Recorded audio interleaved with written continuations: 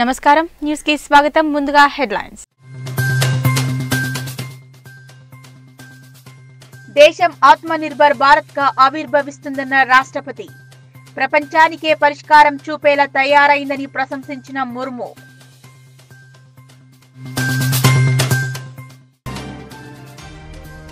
ఆదిలాబాద్ వ్యాప్తంగా కొనసాగుతున్న కరెంటు కోతలు హైవేపై రైతుల ఆందోళన స్తంభించిన ట్రాఫిక్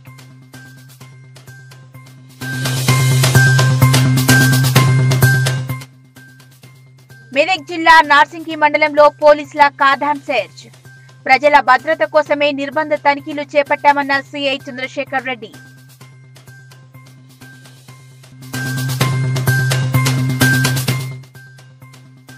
నిజాంపేట మండలంలో పర్యటించిన మెదక్ ఎమ్మెల్యే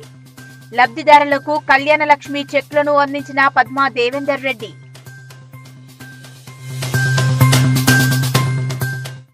భారత రాష్ట్రపతి ముర్ము మొదటిసారి పార్లమెంట్లో ఉభయ సభలను ఉద్దేశించి ప్రసంగించబోతున్నారని ప్రధాని నరేంద్ర మోదీ అన్నారు ఇది భారత రాజ్యాంగానికి ఇచ్చే గౌరవమని ఆదివాసీలకు మహిళలకి ఇచ్చే గౌరవం అన్నారు పార్లమెంట్లో నూతన సభ్యులు ఎవరైనా మాట్లాడాలనుకుంటే వారిని ప్రోత్సహిస్తుందన్నారు దేశ ఆర్థిక మంత్రి కూడా ఒక మహిళే అని అన్నారు ప్రస్తుత పరిస్థితుల్లో యావత్ ప్రపంచం భారత్ వైపు చూస్తుందన్నారు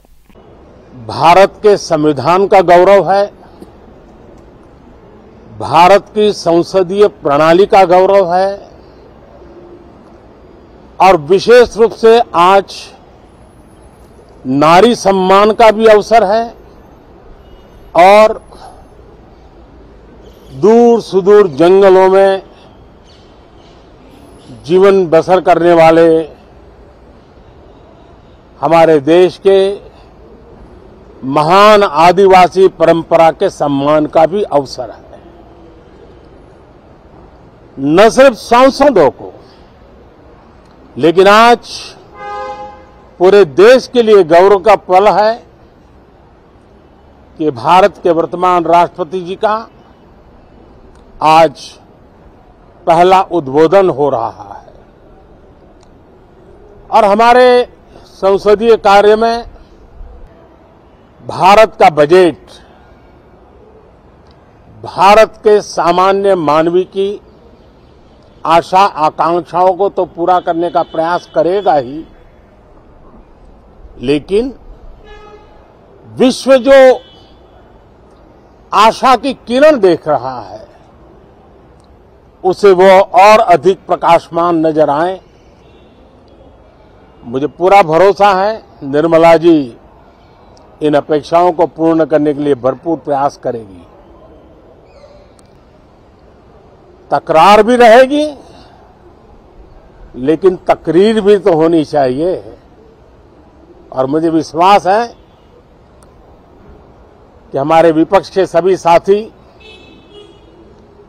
बड़ी तैयारी के साथ बहुत बारीकी से अध्ययन करके सदन में अपनी बात रखेंगे सदन देश के नीति निर्धारण में बहुत ही अच्छी तरह से चर्चा करके अमृत निकालेगा जो देश को काम आएगा मैं फिर एक बार आप सबका स्वागत करता हूं बहुत बहुत शुभकामनाएं देता हूं धन्यवाद ప్రపంచ దేశాలని భారత్ వైపు చూస్తున్నాయని రాష్ట్రపతి ద్రౌపది ముర్ము అన్నారు కేంద్ర బడ్జెట్ సమావేశాల ప్రారంభం సందర్భంగా పార్లమెంటు ఉభయ సభలను ఉద్దేశించి ఆమె ప్రసంగించారు ఆత్మనిర్భర్తో ఆధునిక భారత నిర్మాణం జరుగుతోందని ఆమె అభిప్రాయపడ్డారు పేదలు లేని భారత్ కావాలన్నదే ప్రభుత్వ లక్ష్యమన్న ఆమె యువ మహిళా శక్తి దేశ నిర్మాణంలో కీలక పాత్రలు పోషించాలని ఆకాంక్షించారు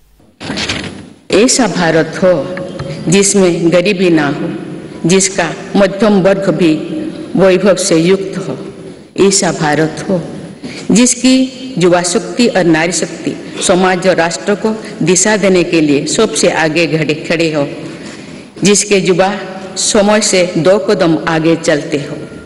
ऐसा भारत जिसकी विविधता अटल हो जिसकी एकता और अधिक अटल हो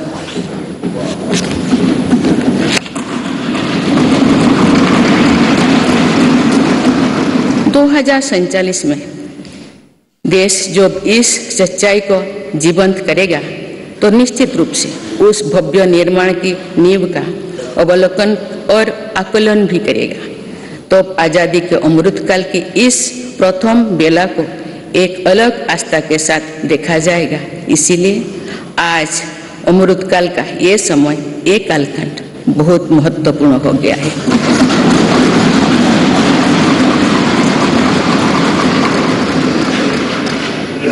माननीय सदस्यगण मेरी सरकार को देश के लोगों ने जो पहली बार सेवा का अवसर दिया तो सबका साथ सबका विकास के मंत्र से हमने शुरुआत की थी समय पर है और दुनिया का भारत को देखने का नजरिया बदला है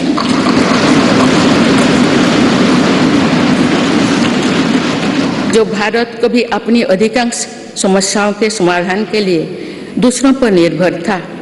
वही आज दुनिया की समस्याओं के समाधान का माध्यम बन रहा है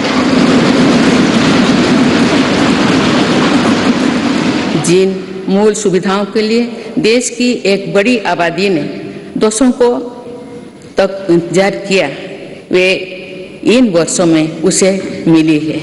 సీఎం జగన్ కీలక వ్యాఖ్యలు చేశారు విశాఖ రాజధాని కాబోతోందని త్వరలో తాను కూడా అక్కడికే షిఫ్ట్ అవుతున్నట్లు తెలిపారు ఢిల్లీలోని లీలా ప్యాలెస్ హోటల్లో నిర్వహించిన AP global investor summit round table సమావేశంలో సీఎం జగన్ ఈ వ్యాఖ్యలు చేశారు మార్చి మూడు నాలుగో తేదీల్లో విశాఖపట్నంలో ఇన్వెస్టర్ల సదస్సు జరగనుంది మిమ్మల్ని విశాఖకు ఆహ్వానిస్తున్నామని విశాఖ రాజధాని కాబోతోందని కొన్ని నెలల్లో తాను కూడా అక్కడికే వెళ్లబోతున్నానని స్పష్టం చేశారు మిమ్మల్ని మరోసారి విశాఖలో కలవాలని ఆకాంక్షిస్తున్నానని జగన్ వ్యాఖ్యానించారు Here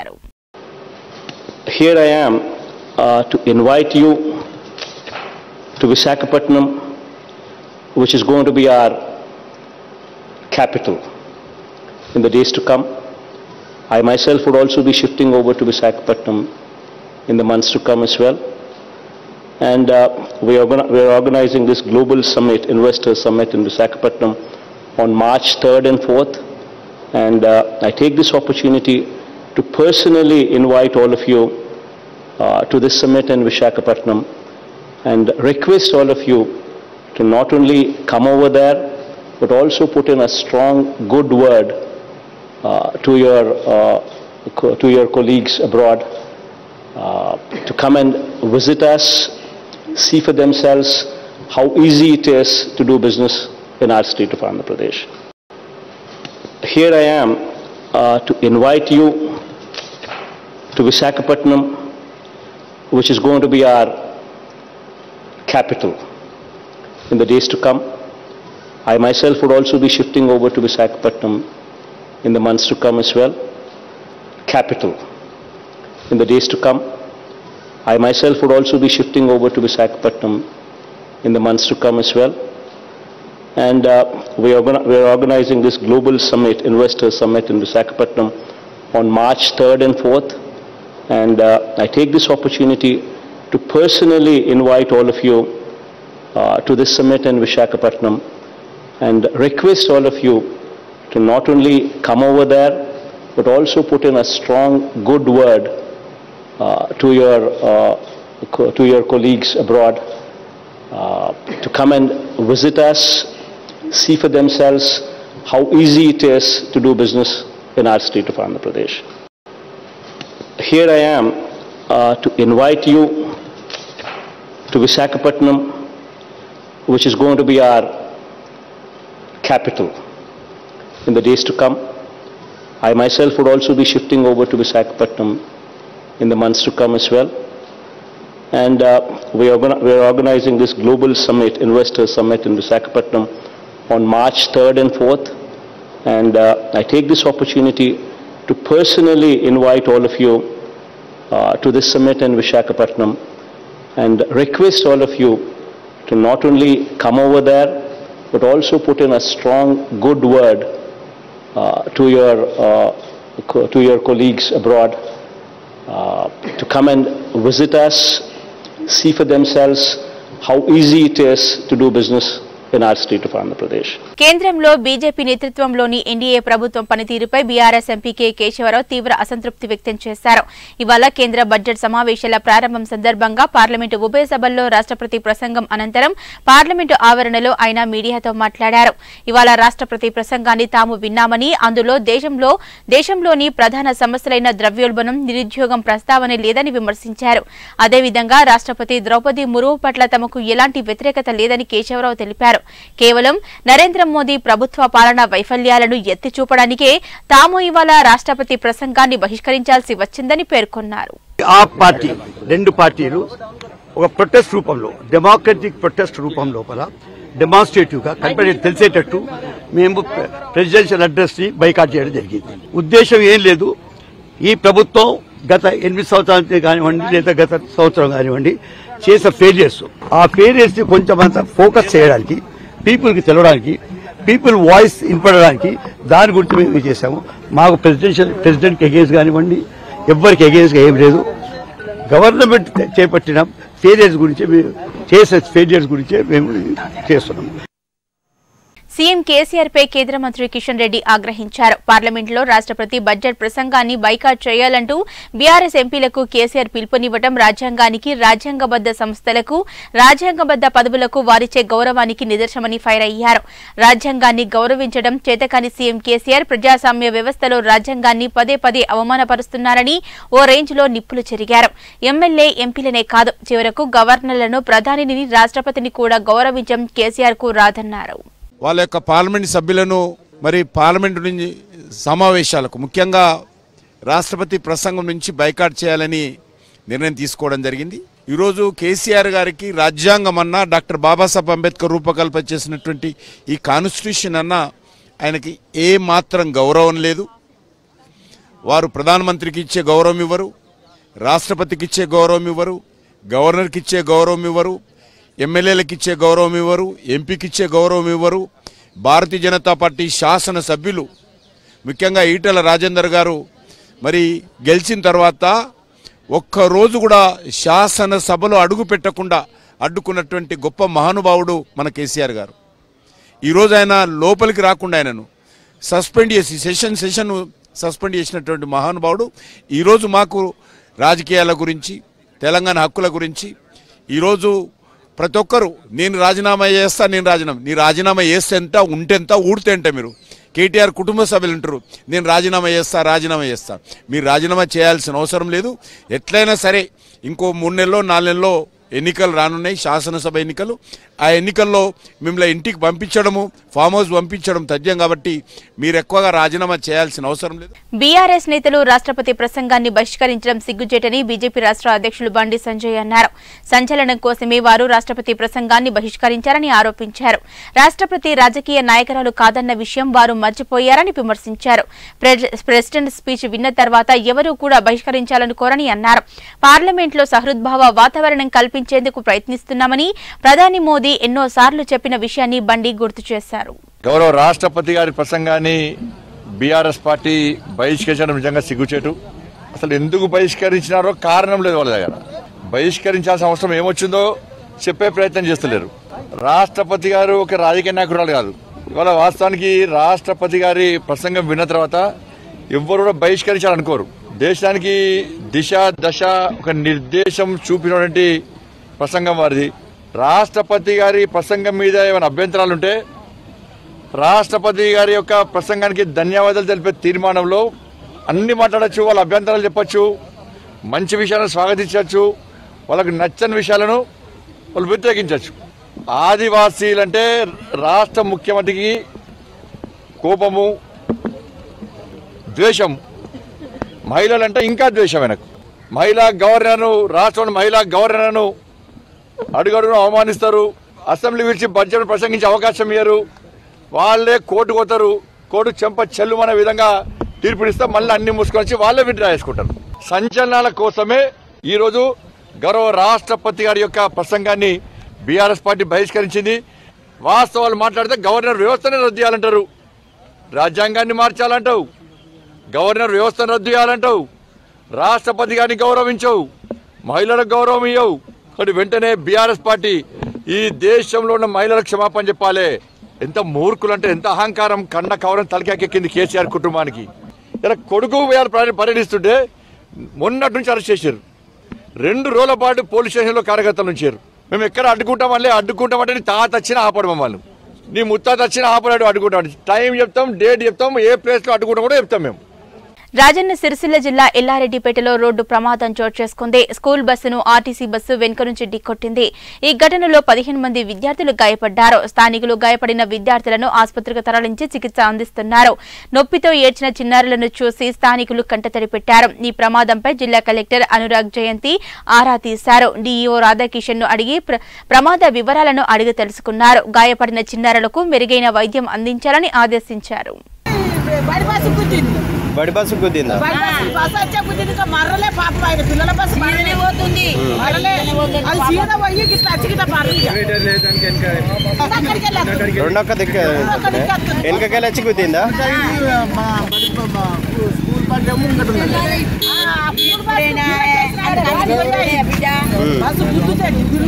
పట్టే నల్గొండ జిల్లా నార్కెట్పల్లి మండలం చెరుపుగట్టు దేవస్థానంలో వార్షిక బ్రహ్మోత్సవాలు ఘనంగా జరుగుతున్నాయి తెల్లవారుజామున అగ్నిగుండాల కార్యక్రమం అంగరంగ వైభవంగా సాగింది పోలీస్ అగ్నిమాపక శాఖ ఆధ్వర్యంలో భారీ బందోబస్తు నిర్వహించారు నిప్పు కనికలపై నడిచి భక్తులు మొక్కులు తీర్చుకున్నారు మరోవైపు అగ్నిగుండాల కార్యక్రమంలో భాగంగా స్వామి అమ్మవార్లను పర్వత వాహనంపై ఊరేగింపుగా తీసుకొచ్చారు ఈ క్రమంలో పోలీసులు అత్యుత్సాహం చూపడంతో భక్తులు ఆగ్రహం వ్యక్తం చేశారు భక్తులు ఒక్కసారిగా దూసుకురావడంతో ఒకరిపై మరొకరు పడడంతో తొక్కిసలాట జరిగింది ఈ ఘటనలో పలువురు భక్తులకు శివశక్తులకు గాయాలయ్యాయి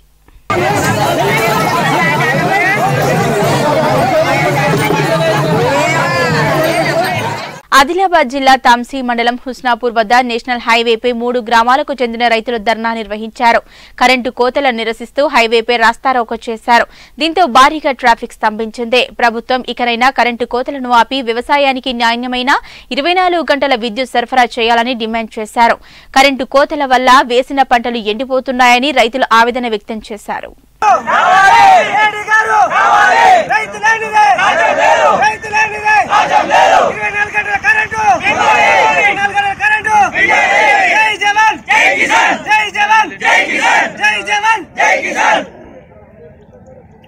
రైతు లేనిదే రైతు లేనిదే వెంటనే ఇరవై గంటల కరెంటు వెంటనే ఇరవై గంటల కరెంటు గోషామహల్ ఎమ్మెల్యే రాజాసింగ్ కు పోలీసులు మరోసారి నోటీసులు జారీ చేశారు ఈ నెల ఇరవై తొమ్మిదిన ముంబైలోని దాదర్లో జరిగిన ఓ ర్యాలీలో వివాదాస్పద వ్యాఖ్యలు చేసినట్లు ఆ నోటీసులో పేర్కొన్నారు హైకోర్టు విధించిన షరతును రాజాసింగ్ ఉల్లంఘించారని రెండు రోజుల్లో వీటిపై సమాధానం చెప్పాలని స్పష్టం చేశారు ఈ నోటీసులపై రాజాసింగ్ స్పందించారు రాష్ట్రాన్ని ఎనిమిదో నిజాం పాలిస్తున్నారని విమర్శించారు నిజాం పాలనకు పోలీసులు వత్తాసు పలుకుతున్నారని పోలీసులు జైలుకు పంపినా భయపడేది లేదని స్పష్టం చేశారు ధర్మం కోసం చావడానికైనా సిద్ధమన్నారు గోహత్య మత మార్పిడిలు లవ్ జిహాద్ చట్టం పట్ తీసుకురావడని డిమాండ్ చేయటం మత విద్వేషాలను రెచ్చగొట్టమా అని ప్రశ్నించారు ముంబైలో జరిగిన కార్యక్రమంలో మాట్లాడితే మంగల్హట్ పోలీసులు నోటీసులు ఇవ్వటం విడ్డూరంగా ఉందన్నారు స్వయం సేవక్ సంఘాలు గతంలో నక్కరేసుకోయేది ఇప్పుడు పాయింట్లో వచ్చినారు అని చాలా ఘోరంగా అయినా కామెంట్ చేస్తే దానిపైన నేను కూడా కామెంట్ చేస్తే నా పైన కేసు పెట్టినారు ఆ సమయంలో కాంగ్రెస్ గవర్నమెంట్ ఉండే ఇప్పుడు ఆ హియరింగ్కి నేను వచ్చిన నిన్న night Mangalhat police station నుంచి ఇంకొక లవ్ లెటర్ నాకు వచ్చింది అంటే ఒక నోటీస్ నోటీస్లో ఏం వాళ్ళు రాసినారంటే మీరు పీడియాట్ నుంచి మీరు బయటకు వచ్చినారు హైకోర్టు ఆర్డర్ వల్ల మీరు కన్ఫర్మ్ చేస్తున్నారు మీరు మీరు బహిరంగ సభలో పాల్గొనద్దు రైలులో పాల్గొనద్దు మీరు చాలా తప్పుగా ఒక వర్గం పైన మాట్లాడుతున్నారు మళ్ళొక్కసారి చర్యలు ఉంటుందని మంగళాట్ పోలీసు వాళ్ళు ఆ విధంగా నోటీసులో రాసి నాకు ఇస్తారు నేను పోలీస్ అధికారులకి అదేవిధంగా ఈ నిజాం గవర్నమెంట్ తెలంగాణలో గవర్నమెంట్ ఎవరిదంటే ఎనిమిదో నిజాంది గవర్నమెంట్ నడుస్తుంది రాజాసింగ్ పాలిటికల్ వ్యక్తి కాదు ధర్మం గురించి చావాలే ధర్మం గురించి బతకాలనే నా ఉద్దేశం మీరు నాకు జైలుకి పంపిస్తారప్పుడు నేను భయపడలేదు ఇప్పుడు మీ నోటీస్కి ఏం భయపడతాం లవ్ జిహాద్ పైన కన్వర్షన్ పైన గౌ హత్య పైన చట్టం తీసుకుని రావాలని మేము కేంద్ర గవర్నమెంట్తో స్టేట్ గవర్నమెంట్తో మేము డిమాండ్ చేస్తున్నాం మీకెందుకు బాధ అది కూడా మహారాష్ట్రలో జరిగింది కార్యక్రమం మెదక్ జిల్లా నార్సింగి మండలం జప్తి శివనూరు గ్రామంలో పోలీసులు కాటాన్ సెర్చ్ నిర్వహించారు రామేంపేట సీఐ చంద్రశేఖర్ రెడ్డి ఆధ్వర్యంలో ఉదయం ఐదు గంటల నుంచి గ్రామంలో నిర్బంధ తనిఖీలు చేపట్టారు ఈ తనిఖీలలో సరైన ధ్రువపత్రాలు లేని సుమారు ఇరవై వాహనాలను పోలీసులు స్వాధీనం చేసుకున్నారు నిర్బంధ తనిఖీల వల్ల పోలీసులకు ప్రజలకు మధ్య సత్సంబంధాలు పెంపొందించడంతో పాటు నేరాలు అరికట్టడానికి ఎంతో తోడ్పడుతుందని రామయంపేట సీఏ చంద్రశేఖర్ రెడ్డి అన్నారు జిల్లా ఎస్పీ ఆదేశాల మేరకు నార్సింగి మండలం జప్తి శివనూరు గ్రామంలో పోలీసులు నిర్బంధ తనిఖీలు నిర్వహించారు రామయంపేట సీఏ చంద్రశేఖర్ రెడ్డి ఆధ్వర్యంలో ఉదయం ఆరు గంటల నుంచి గ్రామంలో నిర్బంధ తనిఖీలు చేపట్టారు ఈ తనిఖీలలో సరైన ధృవపత్రాలు లేని సుమారు ఇరవై తొమ్మిది వాహనాలను పోలీసులు స్వాధీనం చేసుకున్నారు అనంతరం సీఏ చంద్రశేఖర్ రెడ్డి మాట్లాడుతూ ప్రజలు పోలీసులు స్నేహపూర్వకంగా ఉంటేనే సమస్యలు పరిష్కారం అవుతాయని నేరాలను నిరోధించవచ్చని తెలిపారు సరైన పత్రాలు లేని వాహనాలు కొనుగోలు చేయవదని ప్రజల భద్రత కోసమే నిర్బంధ తనిఖీలు చేపట్టినట్లు ఆయన తెలిపారు ప్రతి ఒక్కరూ ట్రాఫిక్ నిబంధనలు పాటించాలని మద్యం సేవించి వాహనాలు నడపరాదని మద్యం సేవించి వాహనం నడిపి ప్రమాదం సంభవిస్తే ఎవరైనా మరణిస్తే మద్యం సేవించి వాహనం నడిపించిన వ్యక్తిపై హత్య కేసు నమోదు చేయడం జరుగుతుందన్నారు సైబర్ నేరాల పట్ల ప్రజలు అప్రమత్తంగా ఉండాలని సూచించారు సీసీ కెమెరాల ఏర్పాటుకు ప్రతి ఒక్కరూ ముందుకు రావాలని పంచాయతీ వర్గ సభ్యులు సభ్యులకు సూచించారు సీసీ కెమెరాల ఏర్పాటుకు కృషి చేయాలని సీఐ చంద్రశేఖర్ రెడ్డి తెలిపారు ఈ కార్యక్రమంలో స్థానిక ఎస్ఐలు నర్సులతో పాటు ఎస్ఐ ప్రకాష్ గౌడ్ సుభాష్ గౌడ్ రంజిత్ శ్రీనివాస్ రెడ్డితో పాటు పోలీసు సిబ్బంది పాల్గొన్నారు అంటే ఈ కార్యక్రమం ముఖ్య ఉద్దేశం ఏంటంటే ప్రజలతో పోలీసులు మమేకమై ప్రజలకు ఉన్నటువంటి సమస్యలను వారి దగ్గరికి వచ్చి తెలుసుకోవాలి ప్రజలు పోలీసులు ఫ్రెండ్లీగా ఉండి ఎలాంటి లా అండ్ ఆర్డర్ సిచ్యువేషన్ అయినా ఎలాంటి విపత్కర పరిస్థితి అయినా ఎదుర్కోవడానికి అవకాశం ఉంటుందనే ఉద్దేశంతో ఈ జిల్లా ఎస్పీ గారి ఆధ్వర్యంలో వారి సూచన మేరకు ఈరోజు ఈ ప్రోగ్రాం ఏర్పాటు చేయడం జరిగింది వీటిలో రోడ్డు భద్రతకు సంబంధించినటువంటి కొన్ని భద్రతా నియమాలను పాటించడము మనం హెల్మెట్ పెట్టుకోవడము మద్యం సేవించి బండి నడిపించకపోవడం కానీ కారు నడిపించుకోవడం కానీ చేయాలని తర్వాత ఆన్లైన్ ఫ్రాడ్స్ ఎక్కువైతున్నాయి కాబట్టి ఆన్లైన్ ఫ్రాడ్స్ విషయంలో జాగ్రత్తగా ఉండాలని మనము మన విలేజ్ను అభివృద్ధిలో ముందుపరచాలంటే యువకుల యొక్క సహకారం ఎక్కువ చేయాలని చెప్పేసి ప్రతి దానికి చిన్న చిన్న విషయాలకు ఎక్కువ గొడవలు పెట్టుకోకుండా కూర్చొని మాట్లాడుకునే విధంగా చేసుకుంటే మధ్యవర్తిత్వం వహించుకొని పనిచే ఏదైనా ఉంటే క్లియర్ చేసుకోవాలనే ఉద్దేశం పెట్టుకుంటే గొడవలు లేకుండా ప్రశాంత వాతావరణం ఉంటుందని చెప్పేసి ఈ విషయాలు తెలియజేయడం జరిగింది మెదక్ జిల్లా నిజాంపేట మండల పరిధిలోని నందిగామ నిజాంపేట నస్కల్ రాంపూర్ బచ్చిరాజుపల్లి తిప్పనగుల్ల కల్వకుంట్ల గ్రామాలకు సంబంధించి ముప్పై ఆరు మంది లబ్దిదారులకు కళ్యాణలక్ష్మి చెక్లను అందజేశారు మెదక్ ఎమ్మెల్యే పద్మా రెడ్డి అనంతరం నిజాంపేట మండల కేంద్రంలో పీహెచ్సీ సబ్ కు ఆమె భూమి పూజ చేశారు మెదక్ జిల్లా నిజాంపేట మండలంలో ఎమ్మెల్యే పద్మా దేవేందర్రెడ్డి పర్యటించారు మండల పరిధిలోని నందిగామ నిజాంపేట నస్కల్ రాంపూర్ భద్రాజపల్లి తిప్పనిగుళ్ల కల్వకుంట్ల గ్రామాలకు సంబంధించి ముప్పై ఆరు మంది లబ్ధిదారులకు కళ్యాణలక్ష్మి చెక్కులను పంపిణీ చేశారు అనంతరం నిజాంపేట మండల కేంద్రంలో పీహెచ్సీ సబ్ సెంటర్ కు భూమి పూజ చేశారు ఈ సందర్భంగా ఎమ్మెల్యే పద్మా దేవేందర్రెడ్డి మాట్లాడుతూ ఇరవై తొమ్మిది రాష్ట్రంగా ఏర్పడిన తెలంగాణ రాష్ట్రం ఆవిర్భవించిన తర్వాత భారతదేశంలోని మిగతా రాష్ట్రాలకు ఆదర్శంగా తెలంగాణ రాష్ట్రం నిలిచిందన్నారు ఇప్పుడు జరుగుతున్న రెండో విడత కంటి వెలుగు రెండు వేల పద్నాలుగులో మిషన్ భగీరథ రైతు బంధు రైతు బీమా కళ్యాణలక్ష్మి షాదీ ముబారక్ లాంటి పథకాలతో కంటి వెలుగు కార్యక్రమం ప్రతి గ్రామంలో డాక్టర్లు వచ్చి కంటి పరీక్షలు నిర్వహించడం గొప్ప విషయమన్నారు ఇతర రాష్ట్రాల ముఖ్యమంత్రులు ఈ పథకాన్ని కొనియాడారని మానవ సమాజానికి కంటి చూపు ఎంతో ముఖ్యమన్నారు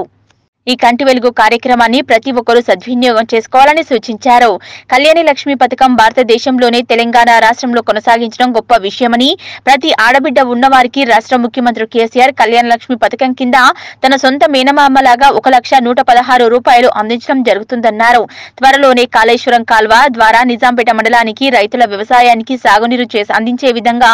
చూస్తామన్నారు ఈ కార్యక్రమంలో ఇన్ఛార్జ్ తహసీల్దార్ గంగాప్రసాద్ మండల MPP Deshati Siddiramulu RI Yusuf గ్రామ సర్పంచ్ లద్దాప్రీతి అనుష అమరసేనారెడ్డి అరుణ్ పంఘా కవిత సొసైటీ చైర్మన్ బాపురెడ్డి ఎంపీటీసీలు లహరిరెడ్డి బాలరెడ్డి సురేష్ కోషన్ మెంబర్ గౌస్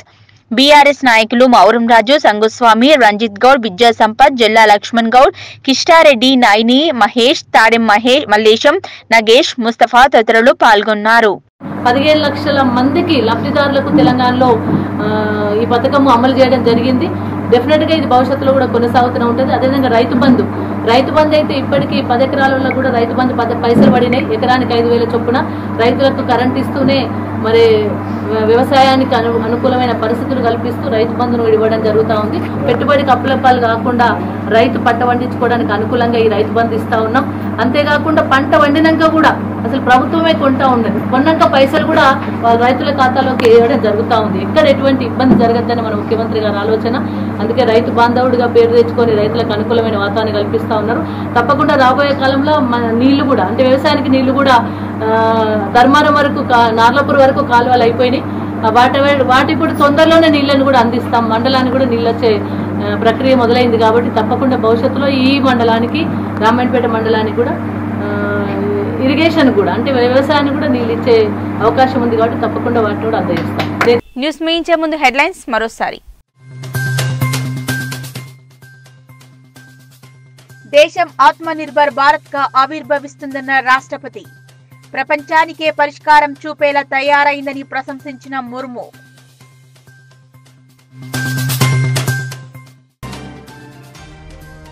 ఆదిలాబాద్ వ్యాప్తంగా కొనసాగుతున్న కరెంటు కోతలు హైవేపై రైతుల ఆందోళన స్తంభించిన ట్రాఫిక్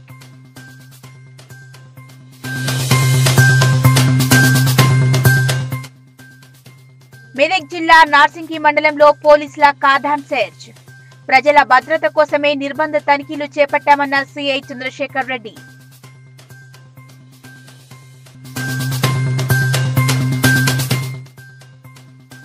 నిజాంపేట మండలంలో పర్యటించిన మెదక్ ఎమ్మెల్యే లబ్ధిదారులకు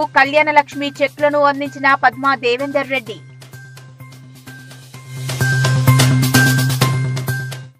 ఇవి ఇప్పటి వరకు ఇప్పటివరకున్న అప్డేట్స్ నమస్కారం